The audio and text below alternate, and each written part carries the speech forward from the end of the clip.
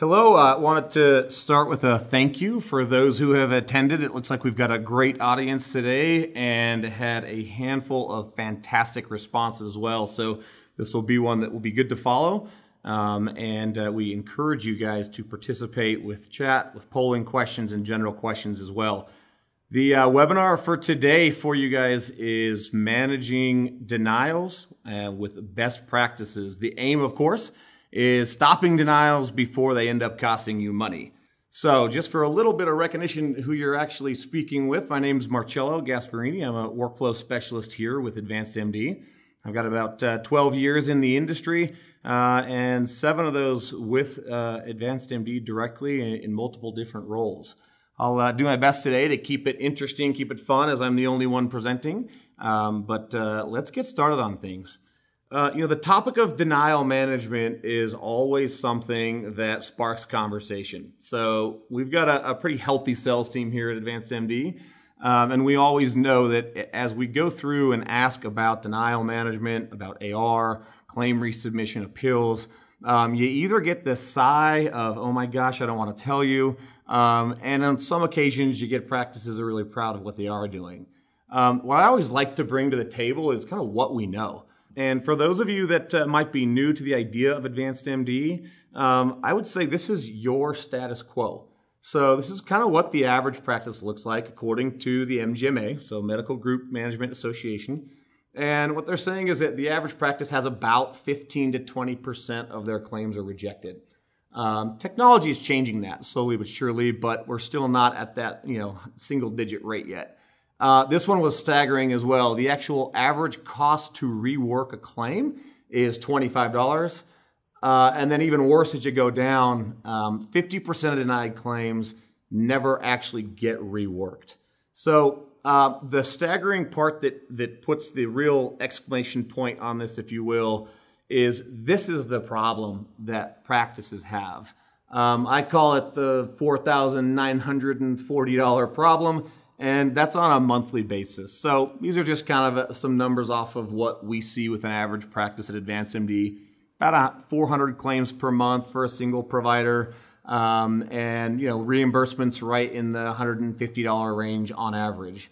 If you fall into that category with denials and cost to rework claims and what claims that are denied don't get reworked, this could very easily be what your practice looks like. So, with that being said, before we even go into the agenda, I thought it'd be a great time to send out a poll. Um, it's good to have you guys engage and give me your feedback as we do these so we know exactly what you're up against. But the poll question should pop up on your screen. Um, and really, what I'm after is uh, what are your approximate percentages of your rejection rates and denial rates? And I always say at this part in time, if you're one of the, the billers in your practice or the, the revenue specialist, the doctor will never know what your answer is.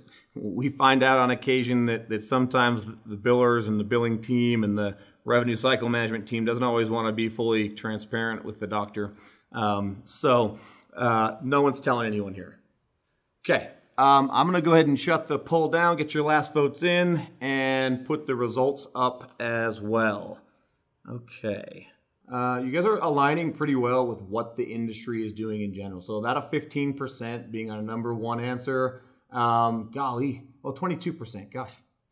Um, and then right in that range. So between 15 and 20% of those who are on the line um, are in that same spot. So um, that's a big call to action for us at Advanced MD and drives me to uh, what the agenda is for today. All right. The biggest part about creating a denial management plan and having internal best practices um, is putting something together that you can rely on as an entire organization. Now, whether that's a, a, one doc practice, you know, or you're a bigger organization with multiple facilities, locations, and providers, uh, it's something that all people can align with. So, here's what we'll talk about: um, what are the employee responsibilities, and what's the importance of their role. Um, we're also going to get into what are the elements of a denial management plan uh, some best practices that we see from um, advanced MD super users, um, and then just a quick sample of, of the effect and what the successful denial management plan can look like. So, uh, that being said, you know, you definitely want to avoid the three stooges, right? It's it's a, that effect that just goes downhill and snowballs. So one of the most important things you can do, and oftentimes we always recommend this is one of the first things you should do as well, is define what each employee's role is. So uh, to put this on a personal level, uh, in, over here in Utah, where Advanced MD headquarters are, uh, my wife and I, we both admit to the fact that we are quote unquote UT fans. Now, if you don't live in Utah, that typically means the Longhorns. However, if you do live in Utah, that's the University of Utah. What uh, our house is certainly divided for football um, on the home front. However, um, your practice should be divided into a couple of different workflows as well. Let's see what it looks like. Um, first thing you need to do is put together your front end team. So what we've done is taken the best practices from the industry. And on your front end team, pretty simple. We've got your staff members that are more likely to be on phones and work on scheduling. Okay, so you've got one or two members of that team. You've got your clinical team that may include your physicians. And then you've got your billers and coders who are looking to basically prep your claims prior to submission. Okay, now the general responsibilities that fall under the, uh, the front office staff are kind of bullet pointed out here. Some of these seem really simple, um, but this is off of the industry recommendations. So you'll see that appointment scheduling, registration, eligibility check, and I would even add actually understanding the eligibility as well. Um, and then going through and looking at check in and checkout processes, patient payments, uh, referrals, pre authorizations, coding, and charge capture. So we would say that's what falls under the, the role of the front office um, or the front end, so to speak. Now, on the other side of the house, house you've got your back end processes. Okay, so uh, the staff here may be a little bit fewer in number, uh, but what you're really looking at is who's doing the payment entry. Right, who's putting the doctor's charge codes in, or is there software in place that automates some of that piece? Um, and then who are your collectors, right? And, and really and truly, we call these the money makers because most software systems can easily find the low hanging fruit. Uh, what the general challenges are is having to go through denials and having to go through those other pieces um, that make this uh, obviously tricky for those reasons. Okay. All right. Now, the common responsibilities um, at the back end, so back of the house, so to speak, are going to be your billing edits, uh, resubmissions, uh, patient statements, uh, payment posting, um, looking at the variance analysis, basically, how different is your reimbursement uh, in, comparable, in comparable to your contract with the payer? Uh, denial posting and resolution, appeals, AR follow up, and payer trend analysis. So um, it's all hard work, front office, back office. Um, however, there are many steps that go into this that can make this be a, a success or, or, for that matter, a failure for your practice. So, what we say is um, when you're looking at building this out, is really defining your revenue circle, right? You've got the process of claim submission, patient intake, generating revenue from copay, so on and so forth, or cash pay. Um, and then what's the process and who's going to manage it? So when you look at this, we've always used this as a guide that should walk you through hey, these are the most common steps for having a really effective internal team to manage your billing and obviously have a denial plan in place. Okay. Um, now, from here, one of the things that's that's going to be important to look at is what are the elements of what goes into a denial management plan. I think that for senior billers and, and senior staff members that have been doing you know the claim submission office managers for quite some time, um, you guys could probably rattle these off. Uh, you'd be surprised though at how many times we get really tenured employees and, and tenured professionals, so to speak, um, that miss a little bit here and there, and those small steps that are missed end up being big items where they can get through and see real simply where they could collect more revenue or prevent more problems. So everyone likes something for free, whether it's a value or not is is up to the person consuming it. But we do have a free consultant today. He's got a little bit of notoriety with the key and a kite. He made it to the $100 bill. Um, and along with that, what do you know? He's on the cover of Time magazine. So uh, Mr. Franklin himself kind of says it best an ounce of prevention is worth a pound of cure, right? Plenty of people liken that to medical, but we can liken the same thing to your billing process and denial management. So, with that being said, here's what we're finding out So 90% of denials are preventable. Okay, so that's a number that came from HIMSS in, in a 2016 survey. So think of those of you that answered to the poll question where you've got a higher rate of denials, 15 to 20% maybe, um, and what it looks like to have a vast majority of your claims without a denial attached to them. So that is what we're going to talk about right now because really prevention is one of the most important parts of what you can do to make sure that your practice is effective. Okay, let's break this into a little bit of workflow. So we talked about the front end and the back end. What we're providing today are some elements of how to categorize your front office staff. Okay, so many practices, obviously, um, if you had to hire a person for each one of these steps, you know, the private practice would be in a little bit of trouble simply because that's a lot of labor um, and it would take a lot of time to get these things done. So, what we say is let's offload it. Let's take the front end staff and make sure that they're capable of doing these steps. So, it starts with your batch eligibility checking um, and then correcting, uh, uh, doing the data entry. Uh, for correct ID numbers. Uh, you'd be surprised, but those correct ID numbers, if they're off or wrong, can be one of the top denial reasons that we see in the practice. The other thing about the eligibility is understanding it. It's not just a green button that says they have coverage, but it's great for the practice to know from the front end before a claim is ever submitted if they've maxed out on out of pockets or if it's the beginning of a calendar year and they've got dollar amounts that actually will end up being patient responsibilities. That all has an impact on your AR. Um, the other part is looking at timing, um, but when are you going to re verify the patient's information? Insurance carriers can change as often as a patient might change their jobs. So, how frequently are you looking at that to make sure that you've got the right info? And what's the workflow process for your front desk and front office to do? Those are your determinations to make, but what ends up happening is you can at least put that task on one of the roles within your office. Last part is your copay collection um, and looking at your patient balances, right? The best time to catch a patient obviously is when they're in your office. So copays are always recommended to be collected there, but patient balances play to AR very heavily. And so in this process, your front desk, while they're there, can create a payment plan or even address it. There might be an outstanding balance. Now, um, we talked about the clinical staff being on the front end of denial, uh, on the front end the, of the office, and how that plays into denial prevention. Really, what we're looking for here is a couple things to make sure that you're covered first and foremost is your clear medical documentation, right? If you're going to be billing with or submitting a particular set of procedure codes and diagnosis codes, you need to make sure that for a multitude of reasons that you have the right documentation to support it. Sometimes it's a letter of medical necessity where your exam and, and your, uh, your encounter with the patient uh, supports it. Um, other times it's making sure that you haven't overbuild on your E&M coding um, and gone too far down the road and pushed a limit where you don't have appropriate documentation. With the clinical staff as well is, is the task of pre-authorizations.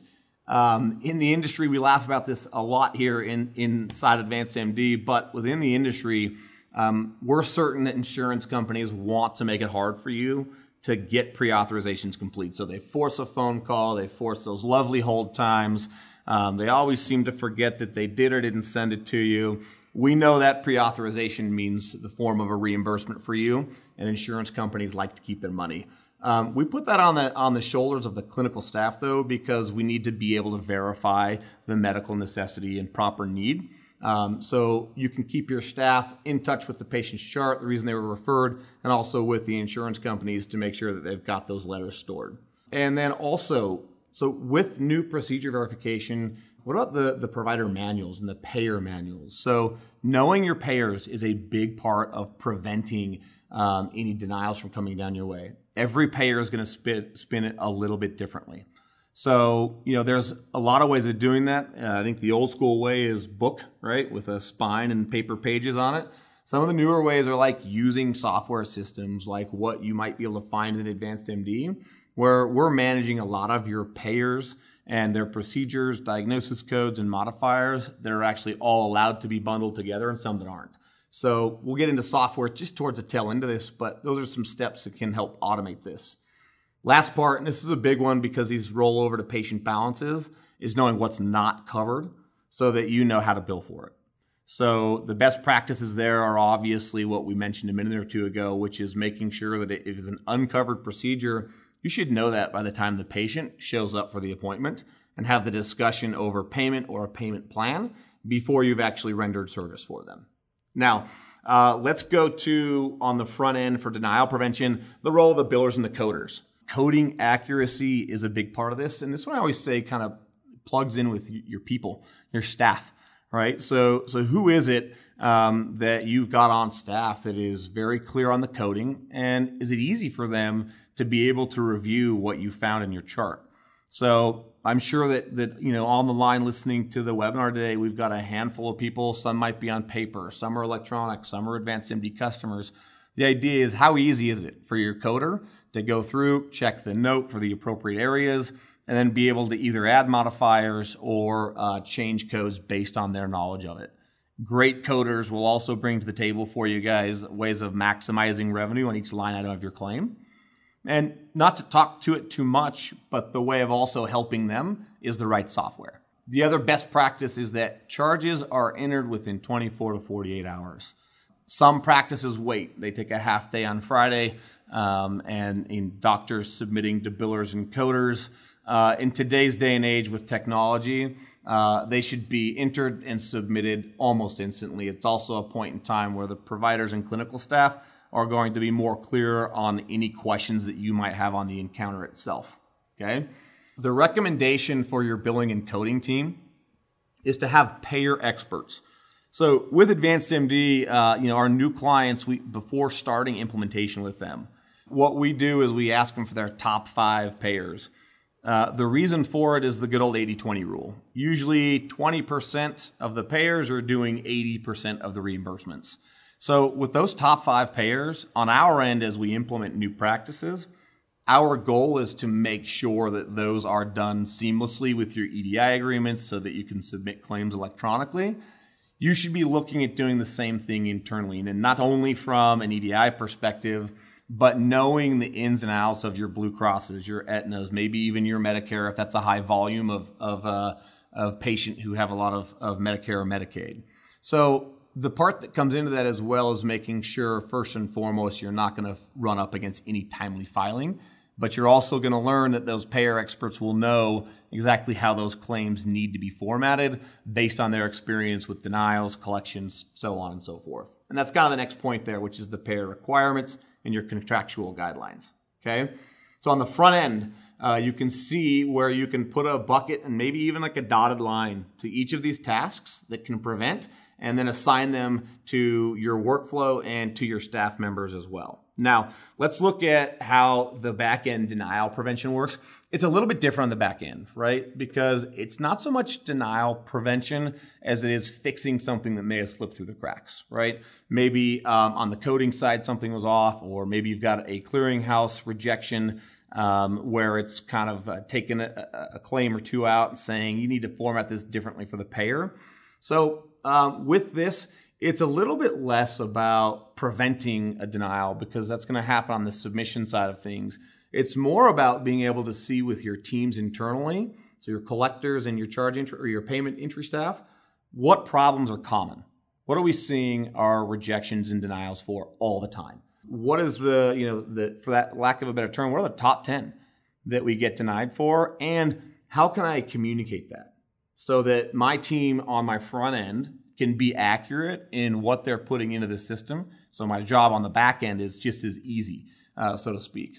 Um, we've always said to also look at the denials as an opportunity to be proactive. I always look at it almost like a football game, right? If you can get an idea of, or or a copy of, or a thought process around what the other team's playbook is, then you have a one up, right? So in the world of, medica- of medical, submitting claims, if you know why a claim might get denied, then fix it before you send it because that has a big impact on your AR. I mean, the days for reimbursement from a clean claim compared to one that is actually um, coded improperly, you might have an error. You're looking anywhere from 10 days for a reimbursement if it's done right, or 30 days for your AR to wait if it's done wrong.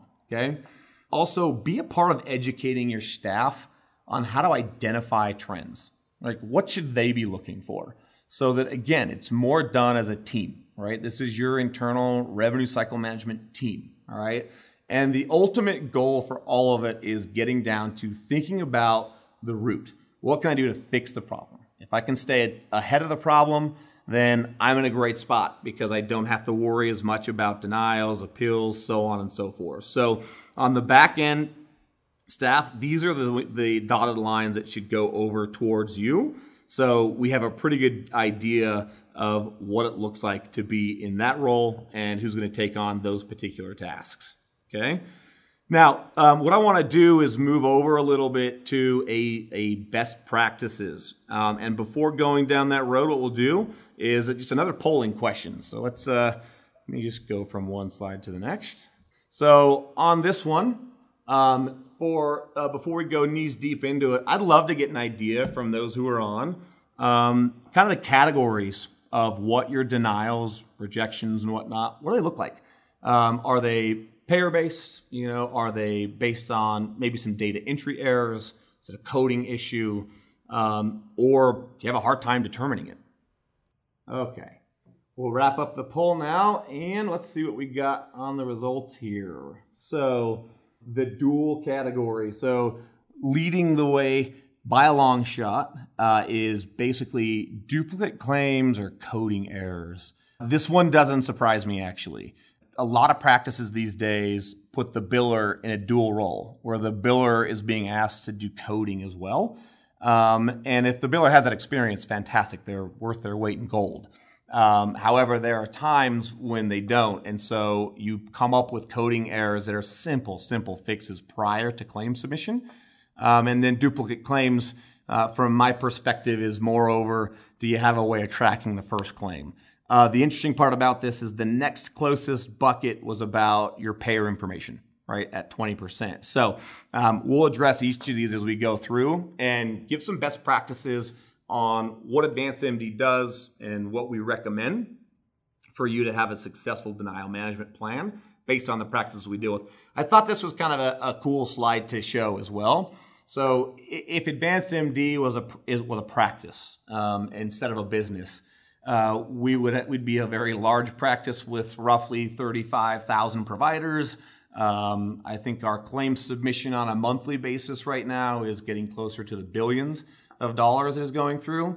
So we ran an internal report to look at well, what are just the general reasons that claims get denied for advanced MD users. And here's the list. So invalid, subscriber, which was one of the leading ones.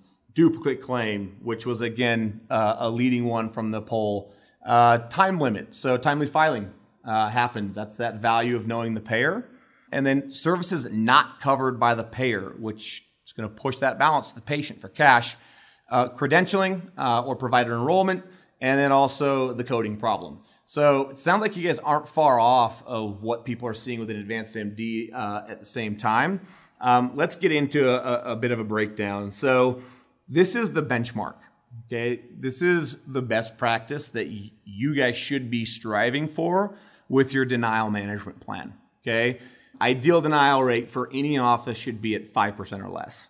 Now, you know, outside of going into a sales pitch, so to speak, on, on AdvancedMD, that's one of our guarantees. So people who are using our software have that as a written guarantee and access to reports for that. This is the standard that we hold ourselves to. Everybody can tell you from a software perspective, they do better, they only have 2% of denials, so on and so forth. But if they can't show you the reports, um, and show you how to track it. It might just be a sales guy trying to earn your business. So let's go into more of what this looks like. We talked about the payer experts. Okay, this is huge for us. So when you go back, I'm going to go back just a couple slides. But when you look at an invalid subscriber ID and you look at the credentialing or the provider enrollment on here, and also the time limit for the claim submission if it's expired, um, and services, those are all payer relationships. Okay, so knowing your top payers so you can avoid the number one reasons that people are getting denials is a big part of making sure that you're not chasing revenue. We'd rather have it flow into you than you guys have to go through it. So put your payer guides in your practice. This is probably one of the newer ones um, from what we didn't talk about. And also connect with a representative from the company. You're doing a good volume with them. You're doing good business with them. It's how they stay in business as well as from you, as much as they make it hard for you. But you've got contracts with them, utilize it. They will have people for you to connect to that are direct connections instead of 1 800 numbers, okay? Um, that's a part of their job. Let's go into another set of steps. Um, this one is also um, a process that for office managers and billing managers alike, uh, and even doctors, regularly review your denial data. Now, what we see is a lot of times getting this data is a real big trick, right? It doesn't always come together. Um, and it's not always readily available with a click of a button, right? Uh, reporting is a big part that goes behind all of this, but define your criteria. What is it that's the, you know, what we would say is a KPI, your key performance indicator within the walls of your practice? So here are the ones that when we work with practices uh, are really what shout out at us real quick and easy. So what percentage of denials do you have from the first time you're trying to submit a claim? The idea with these reports is that you can then pin the problem to a particular department, front end or back end, and then look at who's in that role and train them. Um, and sometimes make decisions that maybe you're not the best person for that role as well. Um, next thing we talked about top 10 reasons that claims are denied. Okay. Generate your reports and your data that will show you the denial with a breakdown by payer, location, specialty, and provider. We know that lovely POS, the place of service, right? That will change your reimbursement if it's done at an ambulatory surgery center, hospital, clinic, mobile, whatever it may be, if that's not properly put in there, you're getting different reimbursements and potential rejections that are going to come your way as well. Can you see what denied claims have actually been reworked? That number at the beginning, 50% of denied claims do not get reworked, right? So that's a big question of how is your practice doing? The MGMA obviously is a reputable organization. So how do you plug in and are you really losing that much revenue? Can you pull the report on it? This one, the staff time and costs. This is the one of your staff and your labor is typically your highest expense within a practice. I mean, I guess I should say arguably. But with that, can you track how much time your staff members are spending on things and are they productive? It might be an indicator that you need to hire more staff or might be an indicator that your staff isn't productive and they need to be trained or you might have the wrong staff, okay? Uh, your time between denial and appeal right? How long is that sitting for? You will hit timely filing if you're not jumping on it quickly, right? And then of the claims you've received, how much of you that, are, that have been denied, how much of a reimbursement have you gotten on them? Were they done properly? Um, and then last part, what are your dollars from write-offs? We all know that goes into taxes and quarterlies and whatnot, but this is the data that as an entire team, right? Your internal team here, front office, back office, practice owners, doctors should all be looking at on a consistent basis to monitor to see if it jumps, moves, if you've got improvements, inconsistencies, so on and so forth. Okay. Now, when we talk about payers, the numbers here, most payers require a dispute to be resolved within 30 to 60 days. They are not going to give you time. We know that. That's the game they play. So on appeals, you know, have to know one thing, they take time. But you can automate some of these processes, right? And with that, you can at least track how far out you are so you can prioritize what appeals to work on based on the data that filing or the rejection or the denial okay? So with that automate. Uh, that's a big part uh, of what advanced md does when we come into practices but using us or not we need to look at what can i do that will save me time because i'm working against the clock. So first thing create templates for the common denial reasons. Run that top 10 report create the template that makes it a one two step so it's easy to do, everyone can follow it, and use an EHR to generate the information and put it in one place. There's a lot of conversation that you know started from some time ago with meaningful use and carries on through MIPS and MACRA right now about if you should be using electronic health record. Look, whether you like it or not, there's great data in there, and that data can make parts of your job easier. So, you know, commentary aside, you can use that as a way for you to be able to get things done quicker. Okay. Establish um, what information is being pulled. If you've got appeals that are coming from a hospital level, what info do you need from them? Get it in advance. You know, almost expect that you might have the denial, have the information needed handy so that you're not waiting. Okay. And then always after you have resubmitted for the appeal, follow up in 30 days. Now, there's a piece of this as well that that's going to be the bow that goes around the box, and we've talked about it a little bit already. But what it really comes down to is can you generate the reports you need for this to work?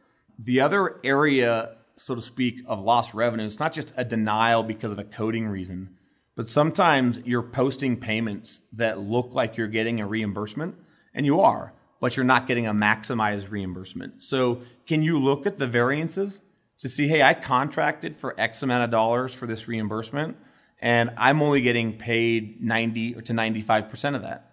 That's absolutely a conversation that you need to be having with your payers, right? You contracted, their job is to wiggle, and their job is to make sure that they're protecting their money um, so if you don't push, you won't get it. Um, and the last part is how do you hold them responsible?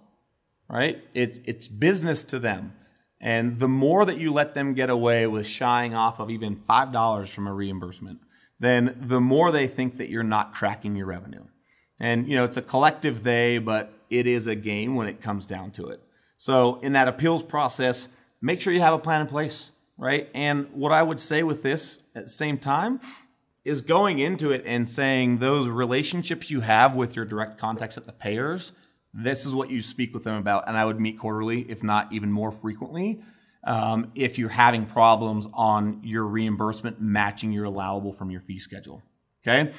All right. I want to show you what a successful denial management man, man denial management plan might look like. It's just a brief example. Uh, but before doing that, I think I've got one last polling question for the attendees who are on. Um, and let me make sure I've got the verbiage on this right. So give me a second to read it to you. If you are going to select a single tool, you know, after our discussions today, after your industry knowledge of exactly, you know, what your practice looks like, if you're going to pick a single tool that would help you create a more successful denial management plan, uh, from the list here, it's a select one for today. Pick the one that would be the most important to you, um, that would have the biggest impact on your practice, so to speak. We'll give it another 10 or 15 seconds or so. All right, let's uh, wrap up polling in three, two, one. And let's take a look at results now. Um, again, not one I'm surprised by. So um, denial management tracking. This is a obviously a big piece of it. So for Advanced MD, we call it an AR control center, and for us, it does look at what you can do to see just denied claims versus some that are partially reimbursed. Um, the the one after that is a more educated staff, um, and then almost in last place, but uh, robust reporting. So I'm going to come back to that one. Um, and, and, I like the uh, the three percent of folks that said this is too complex, time to outsource. So uh, denial tracking is a very big piece of this, and to me, that's more of a tool that you need, right? So um, for those of you that have been billing and doing you know revenue cycle management for some time now, technology has come a long way with this. Um, you shouldn't be on Excel sheets. You shouldn't be on EOBs downloaded from the from the clearinghouse and balancing off of those. Um, you should be in a system that does all that for you. That's one of those automate steps that we talk about. Okay. Um, now let's go into um, what a successful denial management plan uh, might look like for you. So let me just get the screen back up here. Okay. So you're seeing on this that one of the most important things identifying your top denials. So in the far left column there is kind of how this reads. We've got three examples. So um, my number one top denial reason in my fictitious practice today is that the patient's ineligible. Number two is that the claim lacks adjudication information. You don't have a complete uh, claim form or your coding's wrong. Um, and number three, you don't have the referring provider or pre-authorization listed. So these are going to be similar types of reasons that you experience denials in your practice. When you have a denial management plan, you have the next two steps laid out so that if you've got a high volume of claims denied that are patient ineligible, you can look at a prevention step which is identifying the trends. And then you can look at a step further of saying, well, that's something for eligibility check and eligibility understanding that in my denial management plan, we've decided that's the front office, right? And some practices put eligibility checking on the back office. So make it yours and make it work for you, um, but have a place where it can go. So you can have a conversation to a specific person instead of saying to all staff members, we have to do better at this, right? Give it a task and draw accountability to it. So as you read across from left to right, if you're lacking claims adjudication, great. What are the common trends it's missing and who does it land on? So now I'm going to have a conversation with my back end about coding, right? And last piece is if there's no pre authorization, um, that might be your clinical staff as we categorized them for today. Um, but who did it? So who missed that the referral info was not was or was not sent to the payer, or who needs to send it sometimes as well. Um, and then on this piece right after is that's where we need to direct our conversation so that we can have a very well-oiled machine. Okay, so with all of that, that's essentially uh, the grunt of the webinar for today. Now, what I want to do is open up some time for questions. Um, and as you guys are kind of uh, going to the question area of the, the dashboard you should have on your end, I'll let those flow in for a few, but also uh, it's always good to make uh, a, note and, and, a little plug for what the role is of Advanced MD. And maybe if you're not an Advanced MD customer or client of ours, this is the same question you should be asking of your software provider. Okay.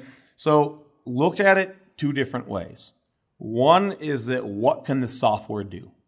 Okay, so can the software automate an eligibility check? Can the software bring in the details of an eligibility check? Does the software have the ability to click a button and open up, for example, um, denial tracking and an AR module?